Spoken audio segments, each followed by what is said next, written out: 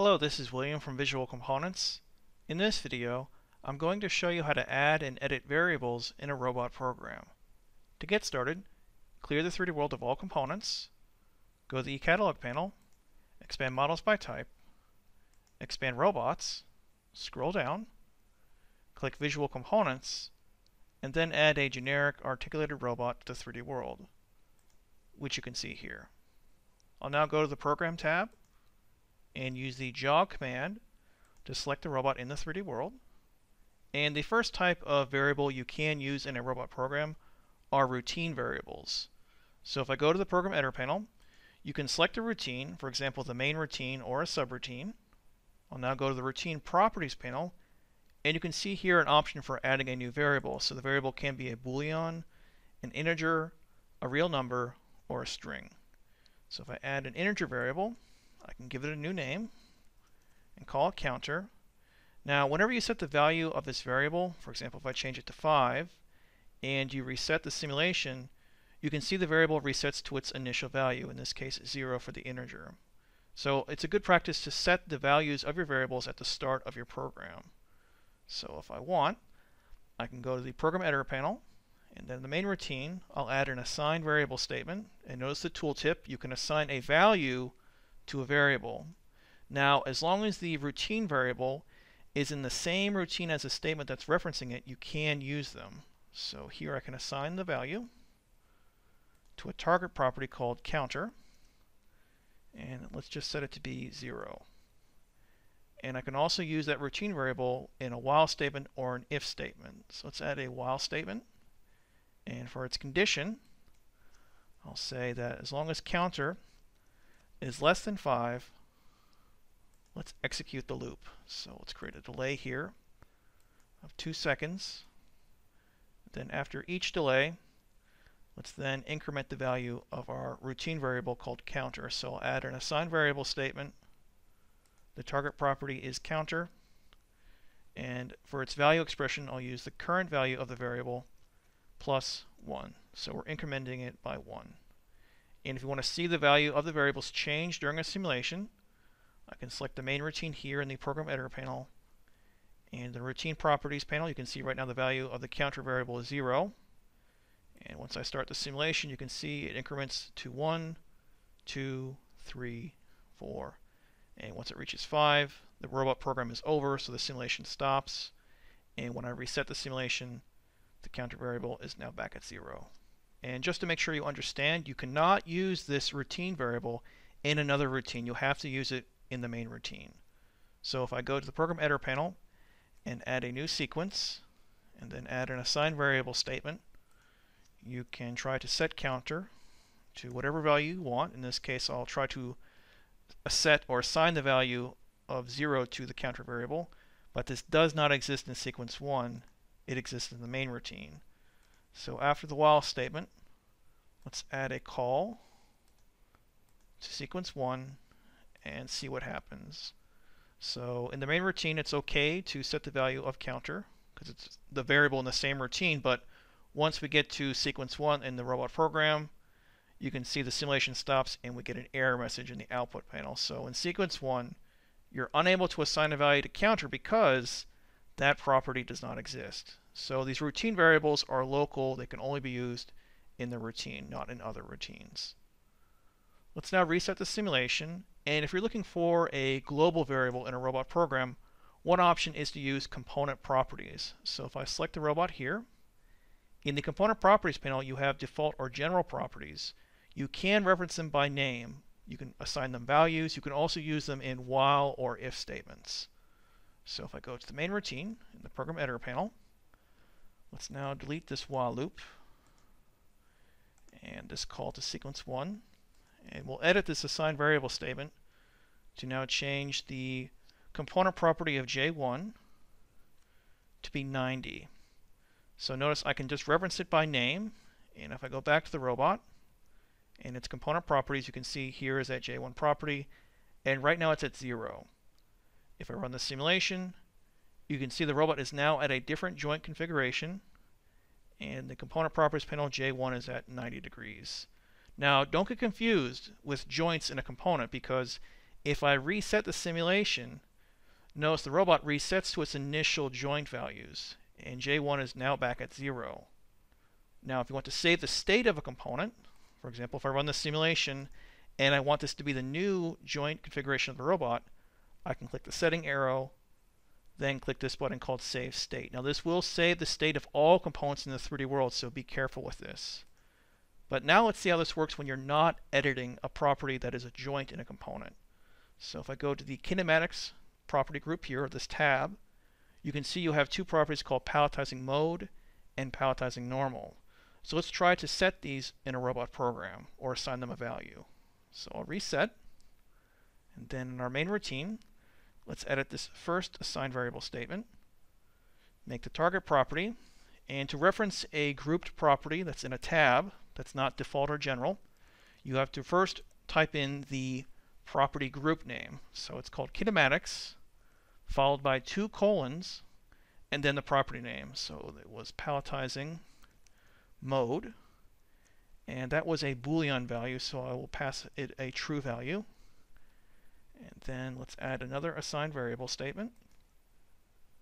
And this time the target property is in that same group of kinematics.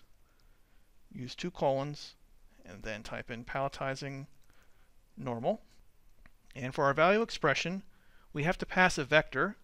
And if you need help writing your expression, you can hold down the control plus space key, or just press it and you get some options here. So I need to use the vector function, so it's a capital V. And we can see the choices also listed here in the drop-down menu, so I can click it. And then for the x, let's pass a 0, the y a 0, and the default for the z-axis is negative 1, so let's make it positive to be 1, and then close the parentheses. I press the enter key, and the expression is good. I got no error message. And if I go back to the robot and select it, and go to its component properties, you can see right now palletizing mode is turned off. It has a false value. And palletizing normal, its z-axis is right now negative 1. If I reset and run the simulation, we can see I've now set the palletizing mode property. And for palletizing normal, notice its z-axis is now at 1. And notice what happens when I reset the simulation. Those properties are still assigned that value, so they were not reset like the joint in the robot. So to fix this, I can either fix it in my main routine or in a subroutine. So let's actually select this first statement in the main routine, hold on the control key, and then click the other statement to add it to my selection. I'll copy them, and then I'll go to sequence 1, and then paste them.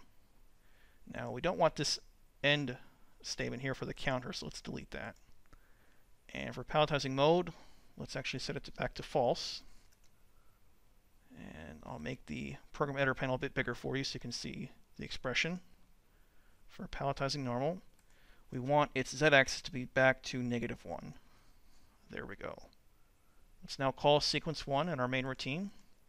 So after we set the properties, let's set them back in another subroutine because these component properties are global. You can use them in the main routine and subroutines.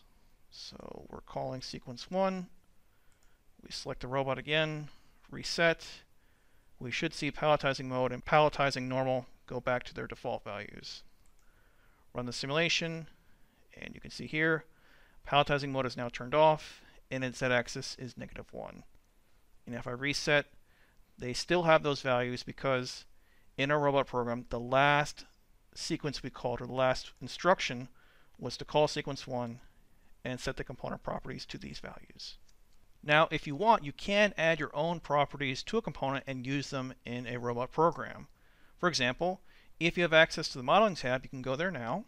And for the robot, you can go to the properties group, click the properties arrow, and add a new component property. So I can add a Boolean property here. Then go to the property task pane and give it a name.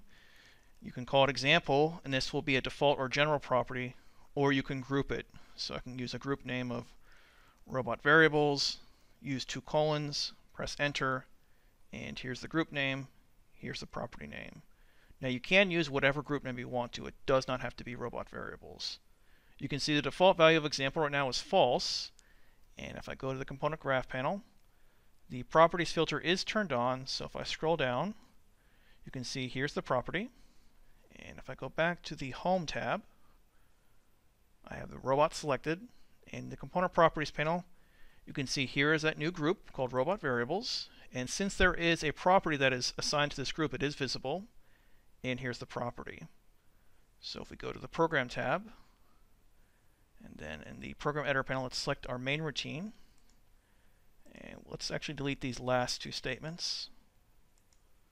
And then try to set the value of that example property I just added. So select the assigned variable statement, go to the Statement Properties panel, and the target property, since it's not a general property, have to first reference the group name, which is robot variables, two colons, and then the property name. So we're going to set the example boolean property to be true.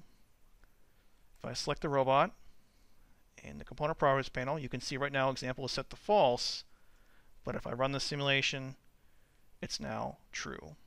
And since this is not a joint, if I reset the simulation, that value is still assigned to the component property.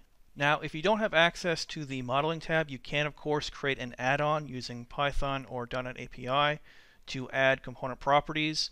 You can also use a script to add properties to a VC program object, which is the program that's executed by the robot. So I can show you how to do that now. I will go to the modeling tab and then go to the behaviors group, click the behaviors arrow, and add a Python script. And this will open the editor. And I will make the editor, I'm sorry, the text a bit bigger by pressing the control and plus sign. Let's make that a bit smaller, so I'll press control and the minus sign. And we don't need these lines of code. Let's start off by getting a handle for the component of this script. So I'll say comp equals get component. And this method is in VC script, so you can see I'm importing everything from VC script. So it'll give me the component object and assign it to this variable. I'll then get a handle for the robot executor. So I'll say robot executor equals comp dot. And if you're using Visual Components 4.04, we now have an autocomplete feature in the Python editor. So you can open this by using the control plus spacebar. And we're using a method called find behavior. And once it's there, we do get some documentation for what it does. So we're looking for a behavior by name.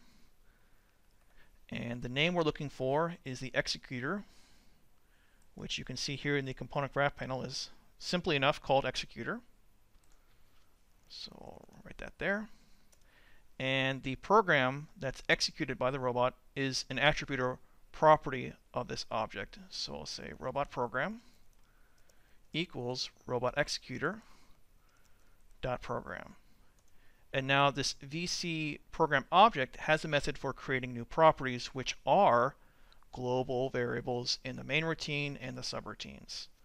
So we'll say prop for property equals robot program dot create property.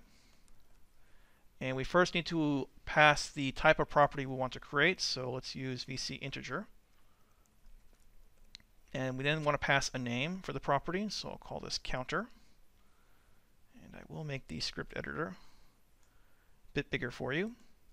And since we're not worried about any grouping, you can just you know give the name you want for the property and reference it this way in your program. So I'm creating something called counter, and that's what I can reference in the robot program. Now, one thing to remember, if you're using a script or API to create a new property, you do need to pass the constraints for that property when you create it, or the time you're initializing it. So you could do that here, but I won't worry about that. You can, of course, use the GUI to add a property. And then if I select one here and go to the property task pane, you can, of course, edit its constraints. So there's not much constraints for a Boolean property. There's actually none. But if I was to add a string property, you can see you have constraints down here. So you can edit them at any time using the GUI, but if you're creating the property in a script or in your own add-on, you know, you do have to define the constraints at the time of the call. Let's close that out and go back to our script. And if I now compile the code, we didn't get any error message in the output panel, so everything looks good. I will exit out of the editor. I'll then go to the Program tab. And if I select the main routine, we can see it already has a counter variable, but this is a routine variable. So I can delete this. Then we can delete this statement here. Or actually, let's edit it to assign a value to that counter property we added to the robot program. So if I go to the statement properties panel, the target property is called counter, and we want it to be 0. So we're going to do what we did at the beginning of the video. Let's now create a while loop and make its condition as long as counter is less than 5. Let's make a delay of 2 seconds. And make sure that delay is in the while loop, so I'll drag and drop it. Then after the delay, let's increment the value of the counter property. So I'll use counter plus 1 for my expression. And if I run this simulation, we probably won't see anything happen because it's not a routine variable. So let's actually, instead of using a while loop, I'm sorry, let's actually make an if statement. So let's say that after we do the delay and increment the value of counter, let's add an if statement. And for its condition, if counter modulo divided by 2 is equal to 0, so if the value of counter is even, then we'll move the robot over here. So I'll add a point-to-point -point motion statement to the then scope. Else, let's not do anything. So if I reset the simulation and run it, let's see what happens. So counter eventually becomes even, and the robot will stay there because I didn't tell it to go anywhere else. So let's make that a bit better. Sorry about that. So if it's odd, let's go this direction and add that to your else scope. There we go. So if it's even, the value of the variable, it will go to position 1. If it's odd, it will go to position 2. So if I reset, run the simulation, counter variable is first 1, then it's 2. It should be 3 now, so it goes there, 4, and 5. I'm dancing with the robot. All right. Okay, this completes the video. If you have any more questions, please feel free to visit our forum at forum.visualcomponents.com, and I hope you have a wonderful day.